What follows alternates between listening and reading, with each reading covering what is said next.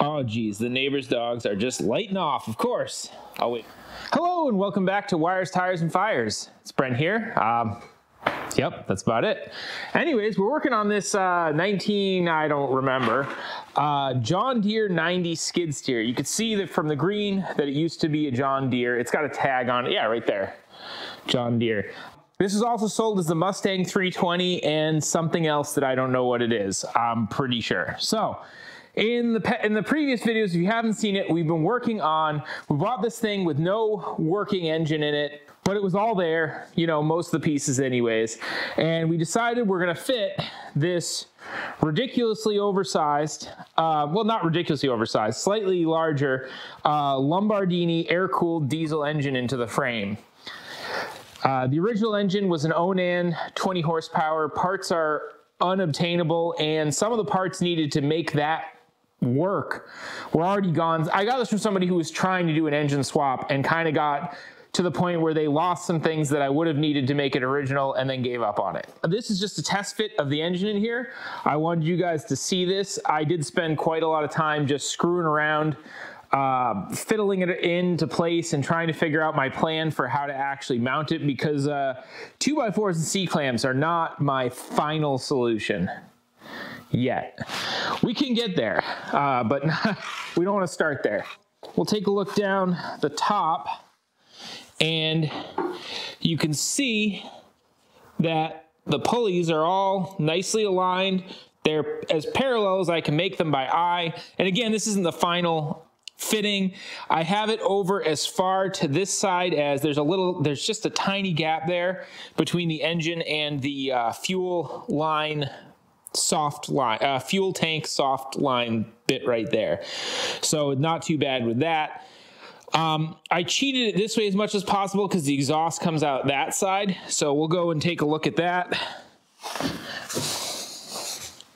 So with it being cheated this much to this side, so that's good because I have the fuel filter off right now, and there is plenty of room. The fuel filter would typically mount to this uh, motor mount right there.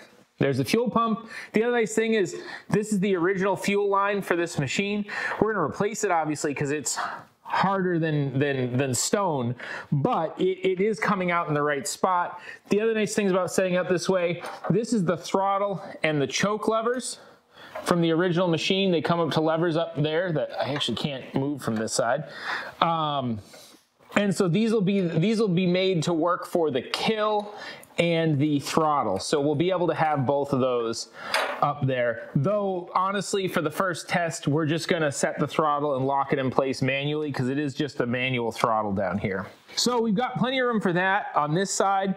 Um, the exhaust is never gonna fit where it is. Not because there's not enough space, but because it, it runs into this hard line here. For now, I'm gonna probably try it with no exhaust, because that's, that's always a good thing. Um, but what I'm gonna do is cut the flange off of this, get a little 90 so it comes up, and the exhaust is gonna be like right about there-ish. Something to that effect. Um, and I'll probably, what I'll probably do to take the weight off of the stress from here to here, because that's sure to damage something, what I'll probably do is weld uh, a little hook here and a hook to the exhaust and use a rubber exhaust hanger from an automobile to kind of anti-vibe it, but also still let it move around a little bit. So I don't know, we might add more bracing after that too, but that's the plan. So that's good. Um, the air inlet is here. I have the original air, air filter for this, which I could try. I have a Kubota air filter, which the previous guy that had this made this little adapter and got a Kubota air filter canister style. And then I have the original canister style filter housing that mounts here. That's way in the future. Um, I'm also gonna have to run the oil pressure line and whatnot. And originally that would have been up on the rollover protection, which is not on this right now. I pulled that off. But I'm gonna mount it like next to the seat on the plate that goes over here, just so that it's um, I don't have to run a mile and a half a line. I'm also going to put this together with the idea that the rollover protection is removable, whereas in the original design, um, the rollover protection, you couldn't really just take it on and off too easily. Why I want to do that is because I know at least one person that might, I know that I might rent lend this to something like that that wants to dig out underneath a foundation with this of their house they're going to get their house jacked up and they need a skid steer to get underneath it this is a great machine for that but with the rollover protection it makes it quite tall. And we can bring that down you know for for a use case like that i think that would be acceptable. Also i think with the mustang version of this the rollover protection was optional. I've seen a lot of these without any trace of the rollover protection though. Working outside, if it was hilly at all or anything like that, or if I'm lifting up loads high, I really wouldn't want to run it that way typically. But in certain circumstances, you got to have room. You got to have room. Yeah. So, anyways, I was looking into ways to mount the uh, the motor up, and not really loving any of them uh, because I don't have the right material here. I don't want to go buy the right material because it's so expensive right now. It just really is killer expensive. But what I had lying around from uh, the Gehl skid steer project, which you should totally watch, are these nice Westerbeke motor mounts. Um, this actually would, would be two of these on the motor and two of these on the transmission on that. So the weight of that package would be probably four or five times the weight of this. So I know these look kind of flimsy almost, but they're absolutely made for the weight. In fact, these look exactly the same as the motor mounts on my ski boat that has a 351 Windsor in it. So if it's if it's stout enough for that, it's stout enough for this. Uh, granted, there might be more torsional load on this than that, but I'm willing to take the gamble. So my plan is to get the height right. So if I put these on the bottom surface of the plate, you can see that that's not quite high enough. Uh, and I don't want to drop it down very far because I don't. I also really don't want this motor to be rattling against those lines there. So my plan at the moment is I'm going to take this back out. So I'm gonna mount, I'm gonna put this through that hole, which might require me to drill it out a little bit, but that's fine.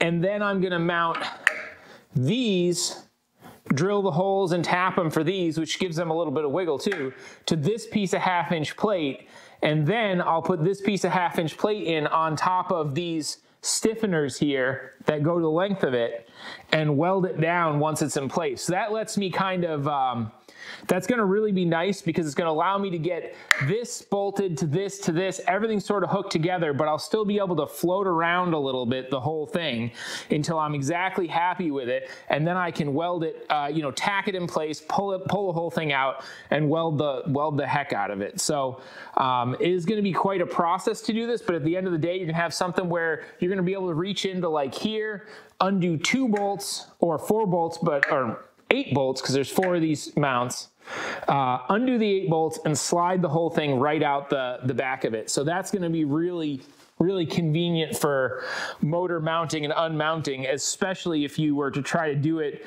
You know, this this space here doesn't give you a lot of room for an engine crane. That's the other reason it's up on the uh, the hoist is that if the if it's at the same height as the engine crane, instead of leaning down and hitting it like that, it's straight, so it's got more room to go up and down.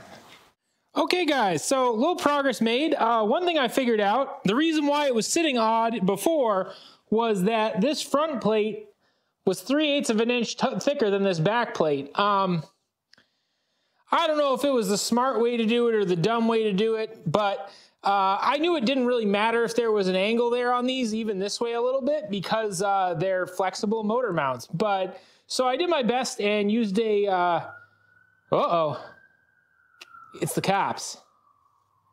Yeah. Anyway, so I used an angle grinder, just ground this down as, as close to that level as I could. I think I'm gonna hit this one a little bit more. Looking at it, it's pretty angled, but that's fine. Doesn't really matter. It's all gonna be just fine. And I got the motor mounts bolted on. So I got three eighths inch bolts that just barely don't come through the bottom, so they'll be fully bolted, but I don't have to worry about where I weld. And the, the what I'm gonna do is slide this in, and because I wanna weld to this flange as well as this one, I'm welding wherever I can. I don't have a good sense of where the front of that plate goes exactly. So I'm gonna put it in and where it lines up, I'm just gonna snip it off and that should work perfectly. So uh, then it'll be snipped exactly where I want it and it'll fit well front to back. So yeah, that's the plan. So I'm gonna get the engine hoist ready and slide it on in the, the hole. I did put the, uh, the tensioner back on. I had that off. The spring for the tensioner is doesn't have an end anymore, but that's fine. And then if it fits, I will put some tack welds where all these bars are and then we'll disconnect these 3 8 bolts because that's how the engine is going to come out in the future.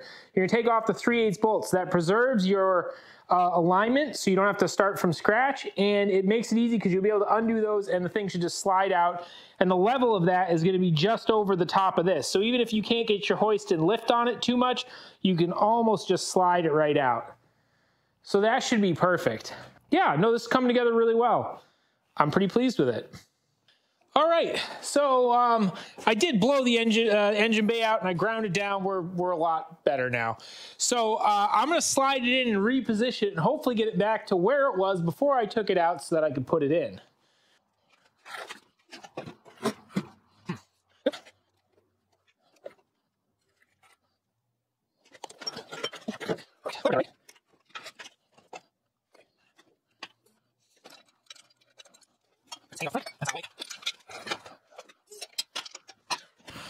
Alrighty, well, I've got it in reasonably close to where I want it. Close enough that I know that uh, if I look over the front down at the pulleys, they're reasonably close to in line. I hope they actually are because I just looked at this from the top, but have no idea what you're seeing. Hopefully you can see them. So anyways, I know that I can cut this one off right about here and I can cut this one off right about there. And so that's what I'm going to do. I'll just pull it back. I'm going to use a Sawzall because it's quick and uh, mark it up and cut it off. And uh, yeah, then we're really, really close here to, well, to, to the next hundred things we have to do. All right, guys. Um, yeah, I moved this over here so it's less loud, but it's going to be awkward looking. But what can you do? So, anyways, um, we're going to get this thing running today. So, we've got a few things that we're going to need to do. I've got a piece of stainless steel pipe, 16 gauge with a 90 in it. It was sold as exhaust pipe. I don't think this is meant for exhaust pipe, but it is going to do what I needed to do. We're going to cut it down. We're going to put it in there. And uh, we're going to weld it to this bad boy. Actually, I should see if the, uh, yeah, we got the right size even. So that'll be step one of them. Um, we've got to figure out the output from the pump and the input from the pump. But um, that's going to be as easy as taking one of the old fittings for this and welding a nipple on it to go for the hose that goes to there. And I've got that. And this one was the result of just buying a couple of adapters at a, a local hydraulic shop. So that's pretty well sorted. So that's good.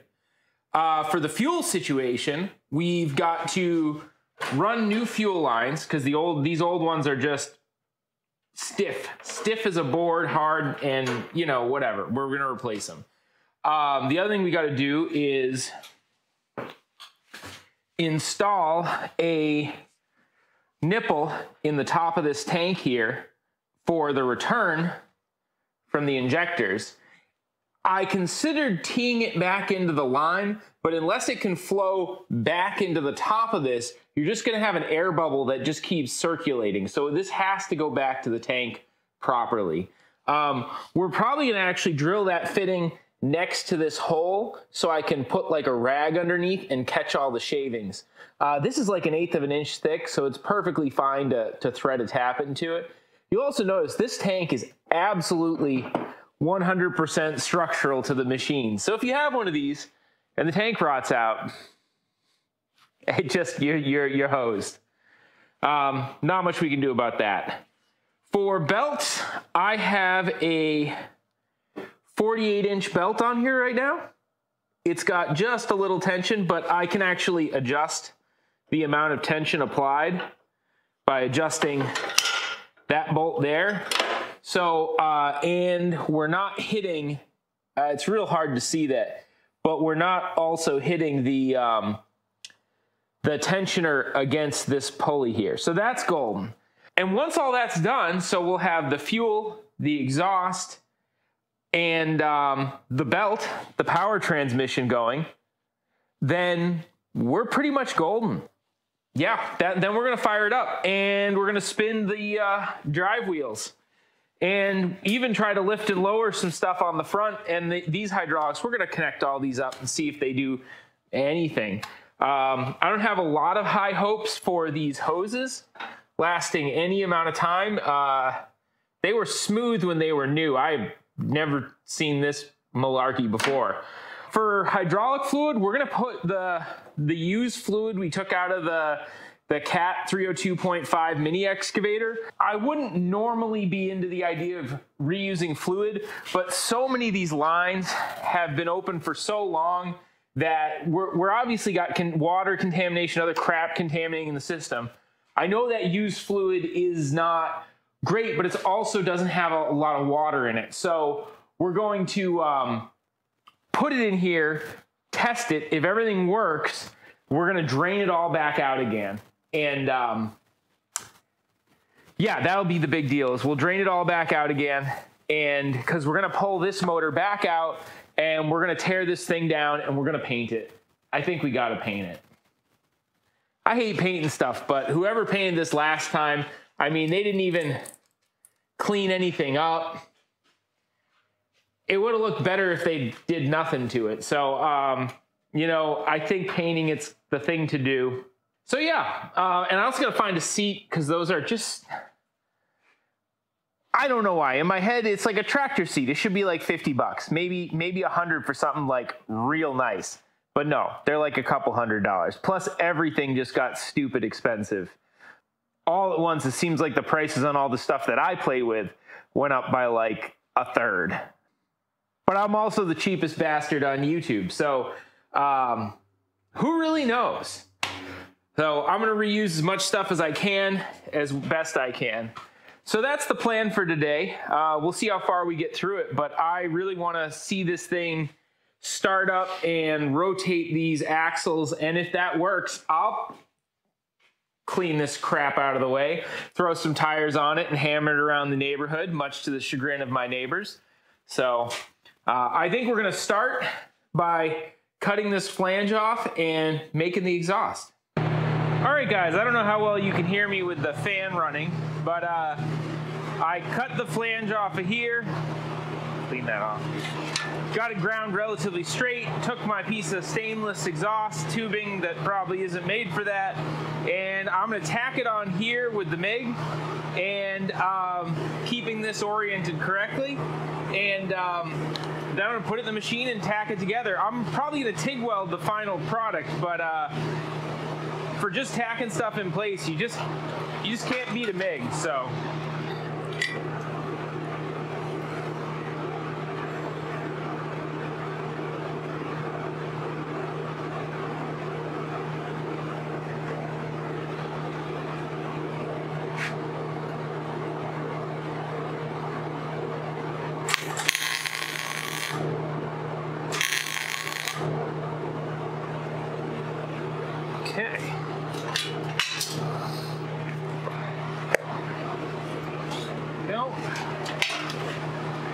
we're just going to take a look at it. Looks pretty square. Pretty good, actually. I'm to put another tack 180 degrees off just so uh, just so it holds together a little better.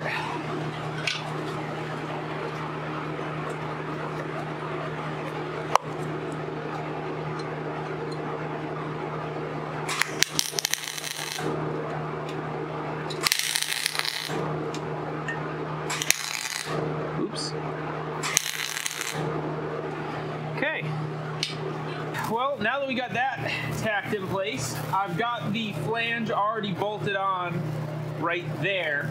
uh, that I cleaned up reasonably well. Let's see how uh, how weird this looks. I, I like it.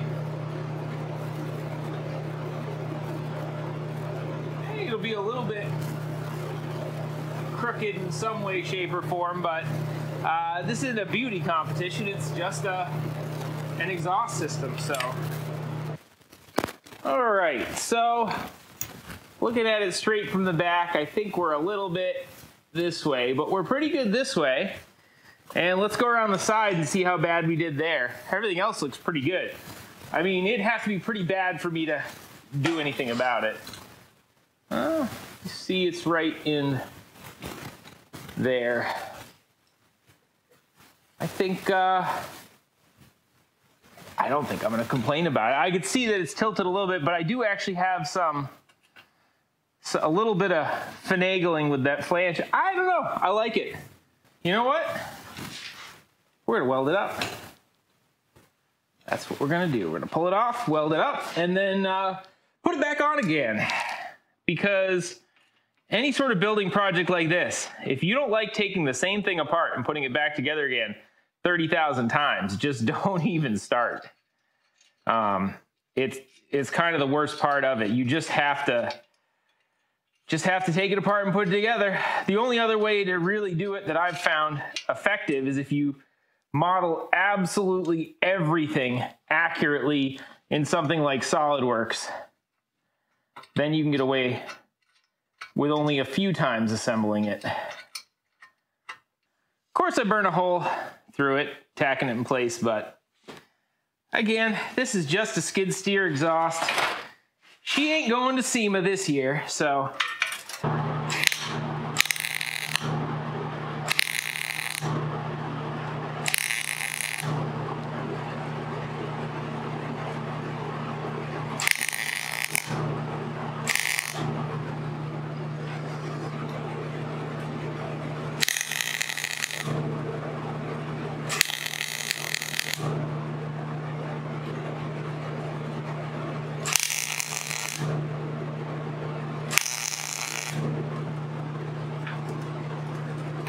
like it. I like it. Alrighty, that went pretty well. Um, yeah.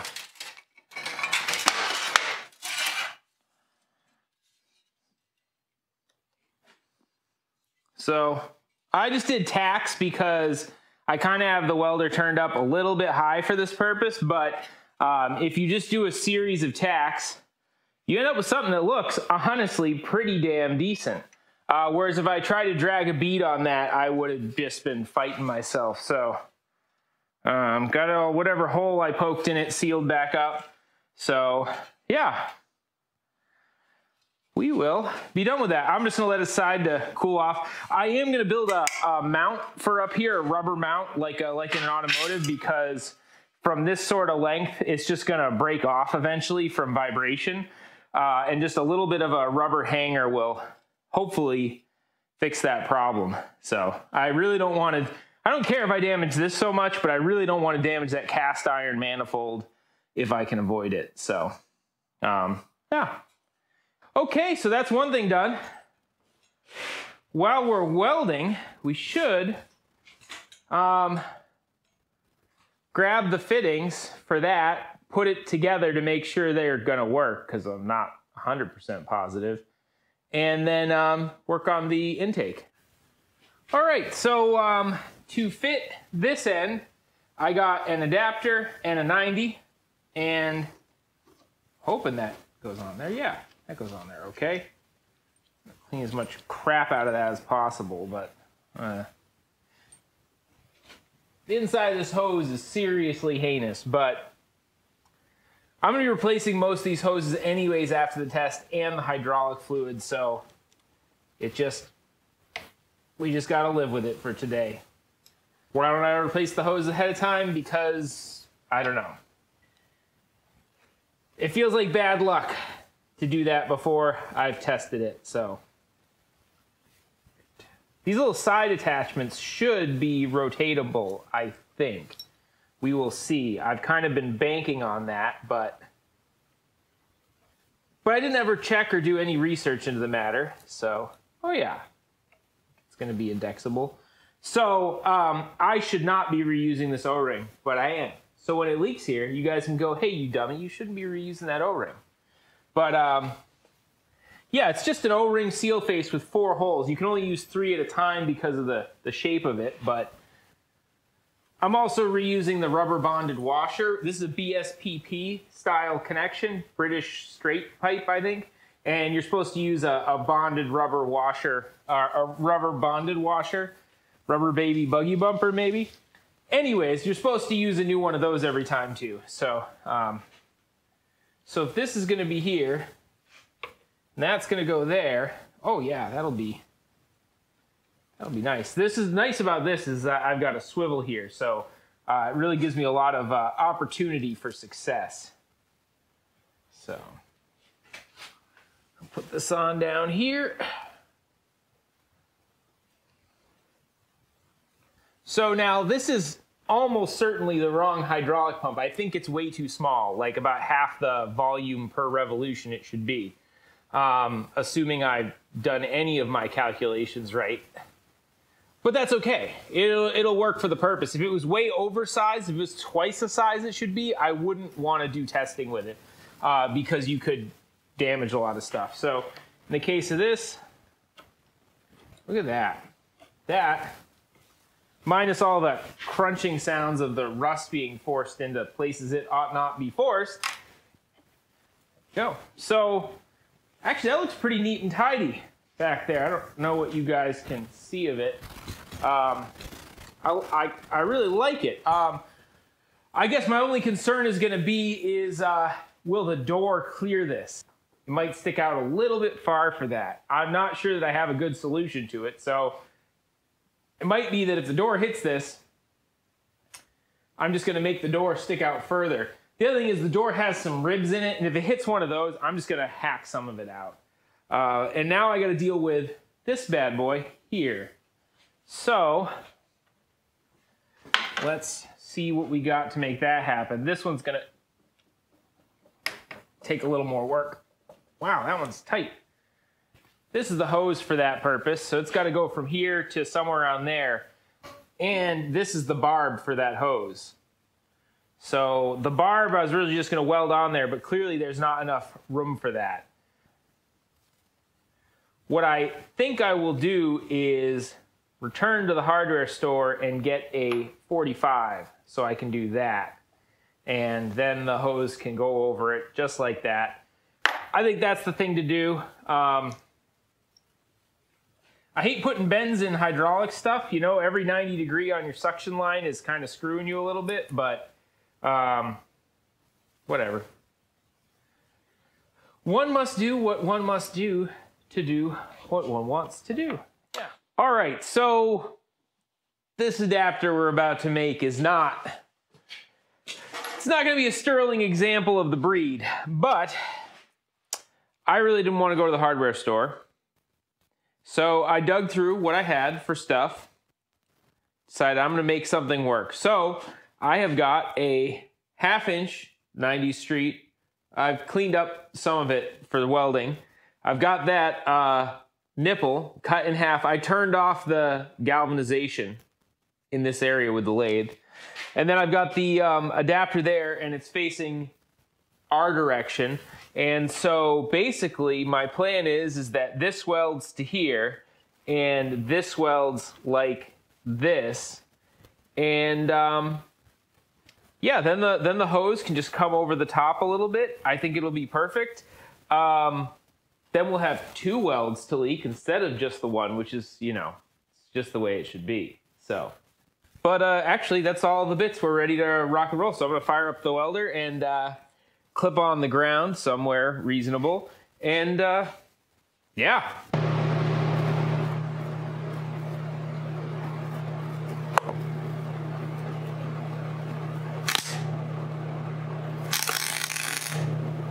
Ooh, hot, hot, hot.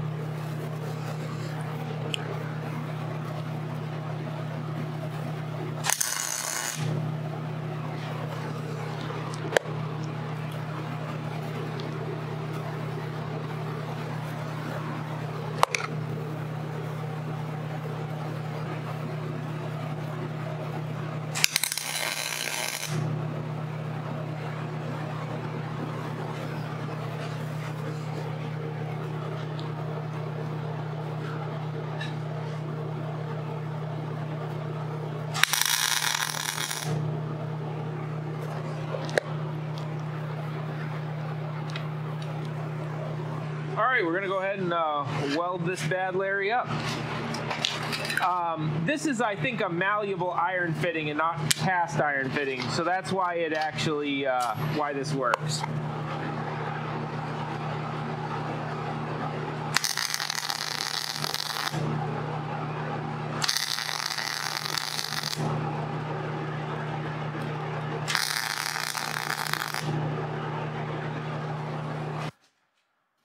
That doesn't look terrible at all. I am doing my best to avoid this spot here because I think I would like to put a circular shroud that extends out to the mesh on the back of the door just to make sure the engine's getting very clean suction and also to put a screen over that area so that if you're in like a lot of chaff or a lot of junks coming through the air, it's almost like a pre-filter that you can just take off and just knock on the ground real easy. So what's left? All right, next up is the fuel system. Got to get some fuel going to the right places, the right type of fuel line. It doesn't really, actually gas and diesel can use the same, but the old fuel line's no good. And we'll see if I can take this sender right here out, but it is going to be a pain in the butt. I'm not aware why they went through such great lengths to put it right there, but underneath everything. They really found a good spot to make sure that it was impossible to get at. All right, I'll bring you guys back once I've uh, taken out the screws and pop that little lid off, and maybe we can see a little bit down into uh, what's going on. All right, guys, I got the hole open, and I don't even know if you guys will be able to see down in there. It's almost impossible for me. Uh, no. In any case, it actually looks beautiful in there. There's a little bit of, we'll call it fuel, for lack of a better term, at the bottom of the tank. Um, I could have taken this off like half an hour ago.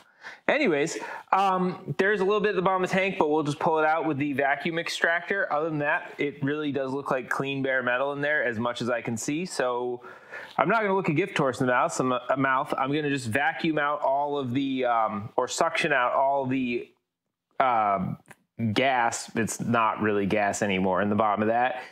And, um, you know, make sure I put in like two, three gallons of diesel. So if there's any gas in there, it's really just a very minor dilution. So, all right, I'm going to do that. And then um, we're going to drill the uh, hole in the top and tap it. And we're going to do that somewhere right right in there, um, just to be easy to get at. Maybe sort of, I'm thinking maybe there's the there's the outlet there that's from factory right there. I'm thinking almost maybe just put it opposite it just to just to make it look a little bit nice.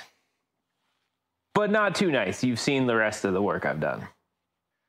All right, guys, uh, here it is, the moment I've all been waiting for. Um, I plumbed in the fuel lines, so they're all plumbed and nothing's gonna rub against the belts. I've got the belts on. I don't know if they tension enough at the moment, but they're tensionable. I will untension them while I'm trying to start it. Uh, I have a very fine electrical system, as you can see here. I am full of hydraulic oil.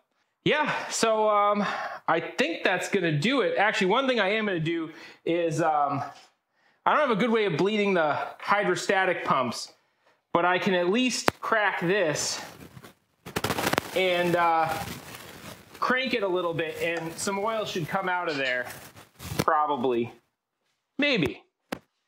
So we'll see.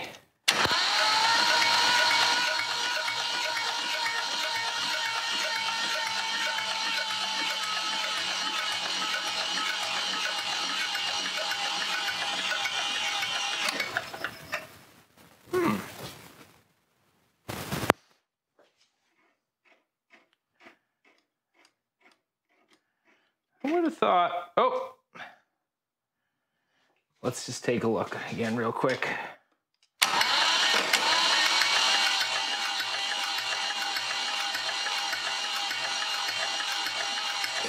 Hmm.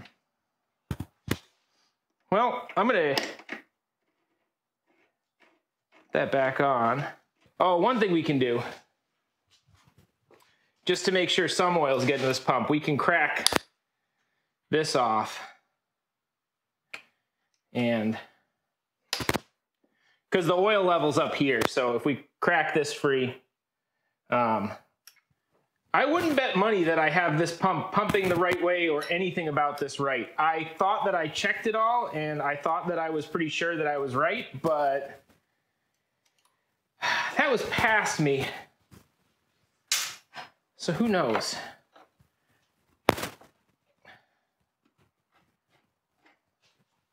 Got that broken free.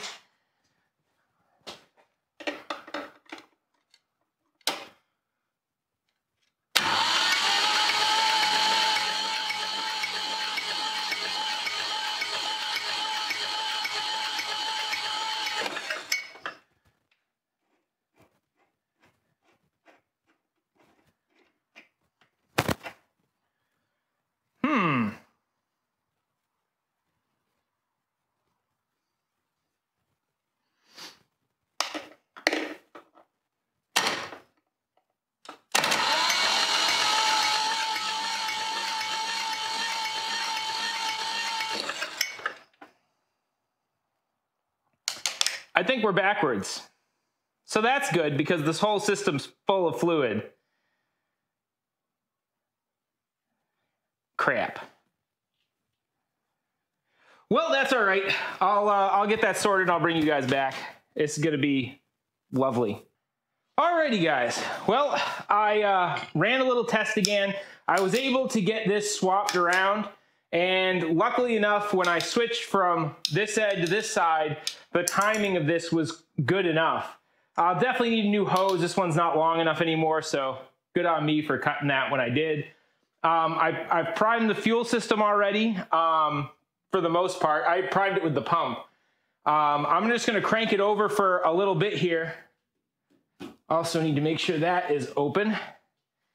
And uh, yeah, we'll see see if we can get her fired up. This has always been difficult to get to start, but I think that's a fuel system side issue, uh, like a losing its prime.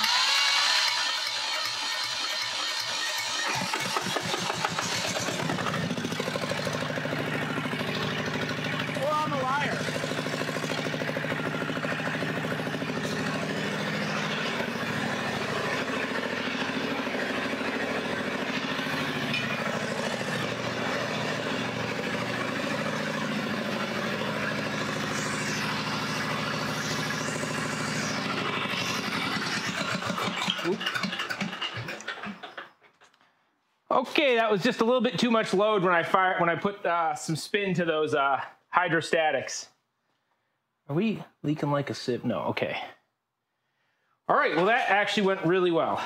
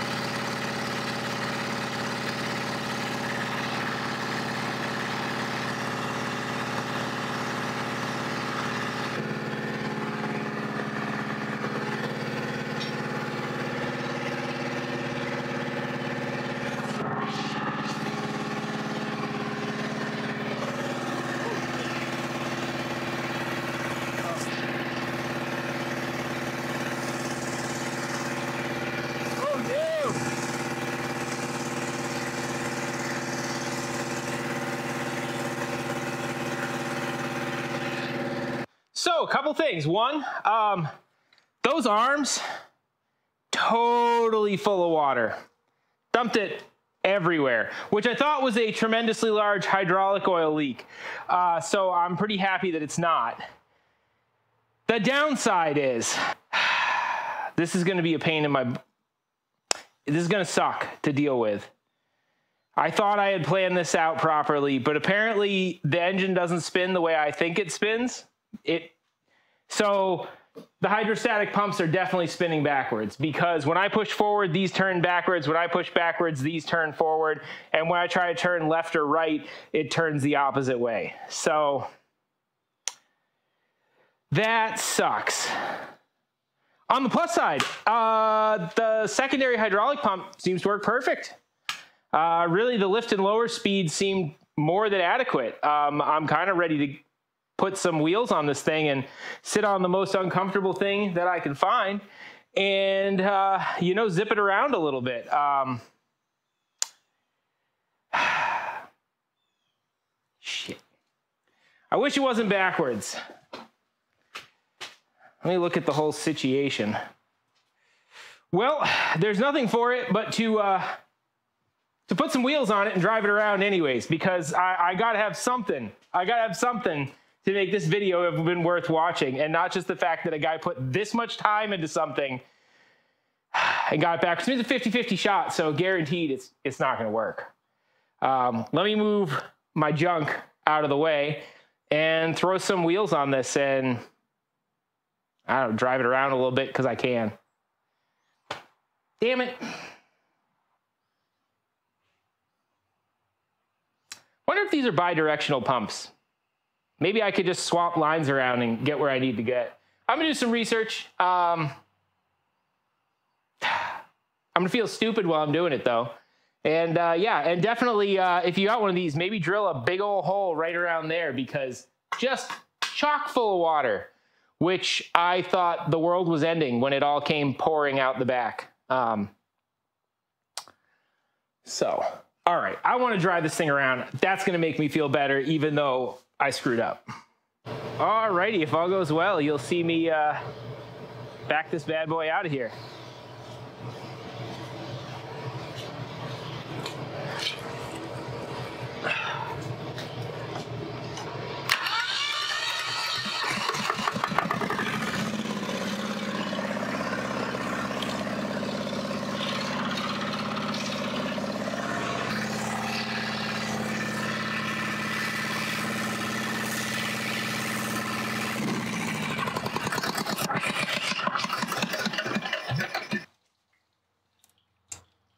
What the?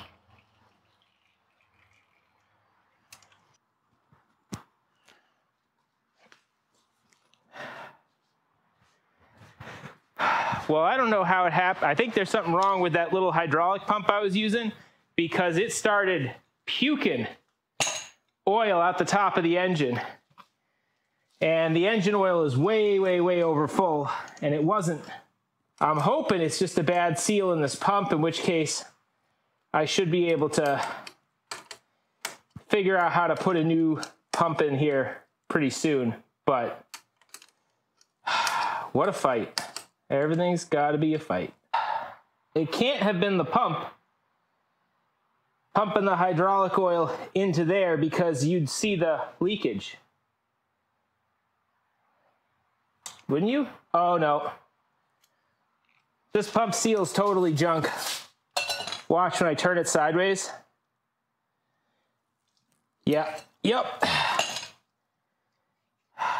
Well, there's your problem, lady. We've just, every time we've turned this on, we've been pumping crazy amounts of hydraulic oil right into the, uh, right into the engine. So that's exactly what we, uh, what we wanted to do. Not one bit of this could go okay today, could it? Not not even one little bit. All right, the audio is going to be a little weird because I don't have my uh, my mic on, but uh, I wanted to do a little ending to this video that wasn't as bad as me just getting pissed off and the camera dying because it was too hot. So I have double checked, and I know this spins this way. So I will be looking for an appropriately sized hydraulic pump to replace that with. So that spins in the right direction. Not a big deal. I double checked the manual and I'm an idiot. And these pumps do spin backwards of the way they were intended. And in fact, they shouldn't work at all. But why they do is whatever. Um, the good thing is, though, is that these are reversible. And as far as I can tell, the only thing I really have to do to make them reverse is I need to take them off here, and behind here is the charge pump, which is the pump that I don't know. It's it charges things. Uh, anyways, there's a plate there, and you just rotate it 180 degrees, and it changes the rotation. These were built for for forwards and backwards rotation. So I'll have to pull the motor out, pull the pulleys off, pull the pumps off, maybe not even pull the pumps off, flip a plate over, and that'll be that. And then um, what I'll need to do on this end is potentially nothing, I think. Uh, I'm going to try it like this. It does say talk about flipping the, these over to change the direction, but I can also uh, just flip these two hoses around and that'll change the direction anyways. So um, I'm going to do that first, knowing that if it's really fast in reverse and slow in forward, that I need to figure something out there, which sucks. This side's okay. I could flip it all up over and point it up, but that side's going to run into uh, that right there. So uh, again, there's going to be a way around it. It just might require like this to bend up and then something. Oh well. But anyways, that's it for this week on wires, tires, and fires. At least we got wires, uh, tires this week, but no wires and and luckily no fires. Uh, I also need to drain the oil out of that and refill it with oil and not hydraulic fluid that I was pumping into it so wonderfully. So yeah, um, definitely uh, more than a few steps forward, more than a few steps back. But uh, keep watching, and we'll get this thing going, and then um, we'll paint it, and also we'll drill some holes so that this doesn't fill with water, and just absolutely. How could this thing have been around for that many years and nobody like did something about that? I don't know. Anyways, oh yeah, and uh, if you're still watching, please subscribe. Have a good one.